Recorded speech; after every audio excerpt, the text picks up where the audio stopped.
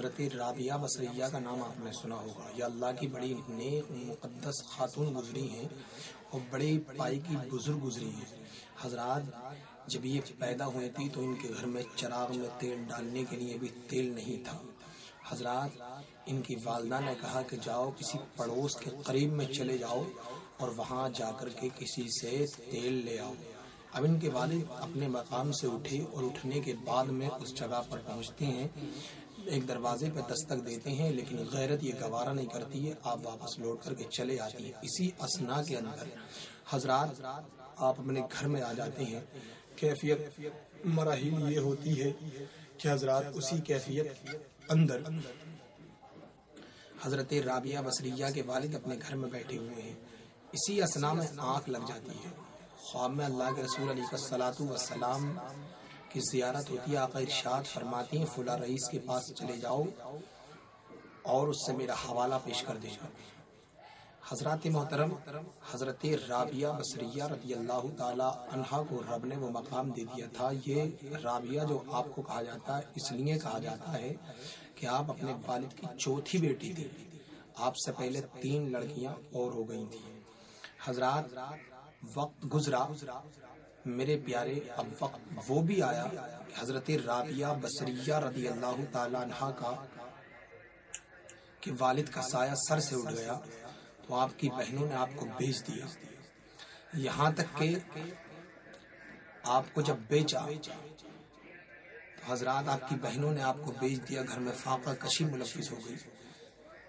फाके की नौबतें पैदा हो गई तो आपकी बहनों ने आपको बेच दिया। हज़रत राबिया बसरिया उस मकाम पर आ गई जहाँ पर लोग गुलामों को कनीजों को खरीदते थे। लोग लौंडियों को खरीदते थे, अपनी खिदमतों के लिए गुलामों को खरीदते थे, अपने खेतों खलियानों में काम के लिए, अपनी गुलामियों के लिए। हज़रत राबिया बसरिया रदी अल्लाह तहा को एक शख्स ने खरीदा और खरीदने के बाद उस मकाम पर ला कर के बिठा दिया जिसे फहाशी का अड्डा कहा जाता है, जिसे गुनाहों की दलदल में फंसने वाला अड्डा कहा जाता है, जहाँ पर लोग अपनी आरजुओं को, अपनी तमन्नाओं का मरकज बना करके जाते हैं और फहाशी में मुलविज हो जाती है। अल्लाह अकबर इसी कैफियत के अंदर वक्त गुजरता रहा, लेकिन हज़रत राबिया वसरिया रब तबारका वाली को कभी फरामोश नहीं किया। और जो रब को फरामोश नहीं करता, उसे रब भी कभी फरामोश नहीं करता। हजरात इसी कैफियत के अंदर वक्त गुजरा। हज़रत राबिया बसरिया फहाशी के अड्डे पे आ गई, तवाइफ के अड्डे पे आ गई।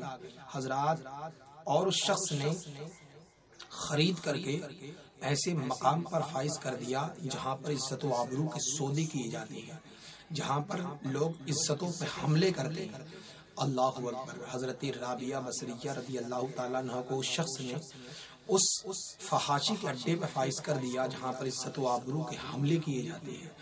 अल्लाह अकबर इसी कैफियत के अंदर हज़रत राबिया बसरिया रदी अल्लाह तला अब आई हजरात उस जगह पर, उस कोठे पर, जहाँ पर इज्जतों के दाम लगाए जाते हैं, जहाँ पर हुस्न की चाशनी को खरीदा जाता है, जहाँ पर इंसान अपने ईमान को लुटा करके चला आता है।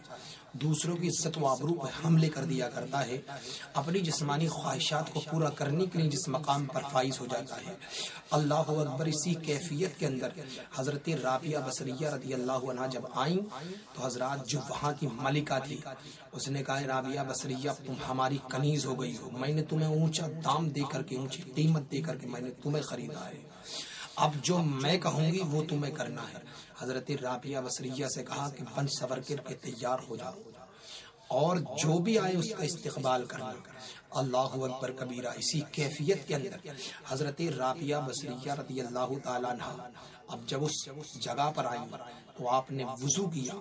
और वज़ू करने के बाद में आपने रब तबारका वाली की बारगाह में उसका शुक्र अदा किया। जैसे ही सजदे में सर रखा एक शख्स उस कमरे में आया और जैसे ही कमरे में आया, हज़रत राबिया बसरिया सजदे की हालत में रब की बारगाह में अर्ज़ कर रही है मौला पूरी इज्जतों को बचाने वाला है। मौला तू ही मेरी आसमत को बचाने वाला है। मौला तू रब कदीर है, मौला तू गफूर रहीम है। मौला तू दिलों के राजों से वाकिफ है, मौला तू नियतों को जानता है ख्यालों को जानता है। मौला तो इबामों पोशीदगी को जानता है, मौला तो फजल फरमाने वाला मौला मेरी इज़्ज़त तेरे हाथ में है।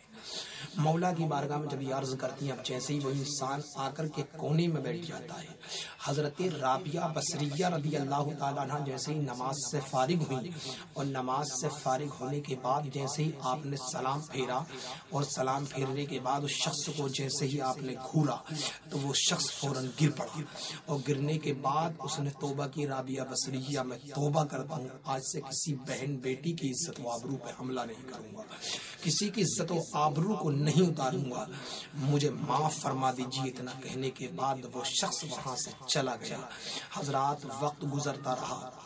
लोग आते रहे, एक महीना गुजरा, दो महीने गुजरे। यहाँ तक के छह महीने गुजर गए, आठ महीने गुजर गए जब एक साल गुजरा। अब एक मरतबा जब ताइफ का जो मलिका बनी हुई थी, जब उसने ये कैफियत देखी कि जो भी इस लड़की के कमरे में आता है तो वो दोबारा वापस नहीं आता। आखिर मामला क्या है? आखिर वजह क्या है? हमारे दरवाजे पे जो एक बार आ जाता, वो बार बार आता है।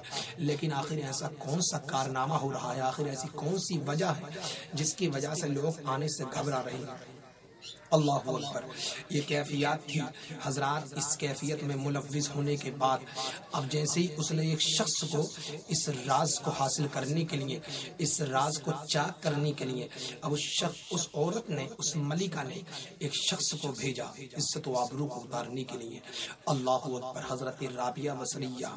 रब तबारका वाली की बारगाह में सजदा रेज है। वो इंसान आता है और आकर के कोने में बैठ जाता है। जैसे ही कोने में बैठा और वो औरत जो मलिका बालिका बनी हुई थी। वो देख रही है एक मकाम से। एक सुराख से वो उस मंजर को मुलाहजा कर रही हज़रत राबिया बसरिया रब तबारका वाली की बारगाह में। सजदा रेज है। रब तबारका वाली की बारगाह में अर्ज़ गुजार है। इसी असना के अंदर क्या देखा? कि जैसे ही वो शख्स आया, बैठ गया। हज़रत राबिया बसरिया नमाज़ से फारिग हुई। और नमाज़ से फारिग होने के बाद हज़रत राबिया बसरिया ने जैसे ही घूरा तो वो शख्स कदमों में गिर गया। और अर्ज़ करने लगे, राबिया बसरिया, मैं किसी की इज्जतों पर हमला नहीं करूँगा। मैं किसी की इज़्ज़त नहीं उतारूँगा। अल्लाह अकबर कबीरा। हज़रत राबिया बसरिया रदी अल्लाह तहु की बारगाह में तोबा कर ली। हज़रत, वो शख्स जब चला, जब मलिका को ये मालूम हुआ कि ये तो कोई अल्लाह की नेक बंदी है, इसके दिल में तो अल्लाह की मोहब्बत है। हज़रत हैरान हो गई, परेशान हो गई, दिल में एक मौजन एक नूर जगमगा उठा। हज़रत, उसने कहा राबिया बसरिया, तुम्हारा ये मकाम नहीं है। तुम्हारा ये काम नहीं है। मैं आज तुम्हें अल्लाह के नाम पे आज़ाद करती हूँ और मैं तोबा करती हूँ। अब ये काम कभी नहीं करूँगी। अल्लाह अकबर कबीर, रब तबारका वाली जब नवाजता है तो किस तरीके से नवाजता है।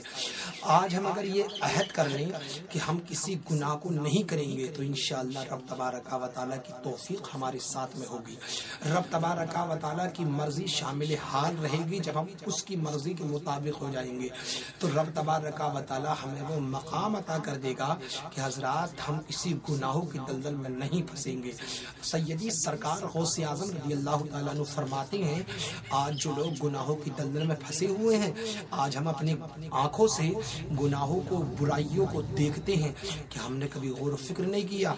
ये आँखें हमें कुरान करीम को देखने के लिए दी गई हैं, कुरान करीम को पढ़ने के लिए दी गई हैं।